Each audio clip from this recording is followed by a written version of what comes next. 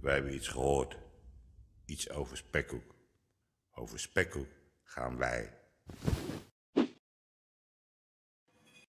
De Indische families hebben jou uitgekozen om dit te onderzoeken. Maar Af, ja, ik heb niet echt geluisterd, weet je. Ik heb echt gattel aan mijn schouder, ja.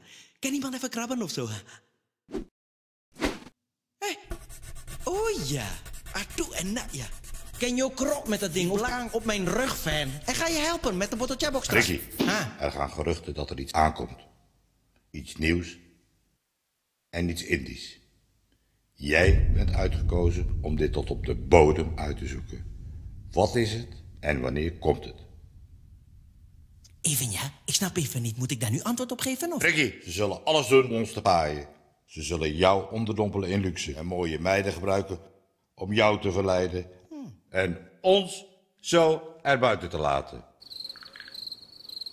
Dit mag niet gebeuren. Tuurlijk gebeurt dat niet. Ah, je bent belazer. Geld en mooie meiden doet mij niks. Ricky, kunnen we op jou vertrouwen? Tuurlijk. Oropopo. Oh, en Ricky, Ah, wat doe je als het echt niet naar spekhoek smaakt? dan lel ik die lui.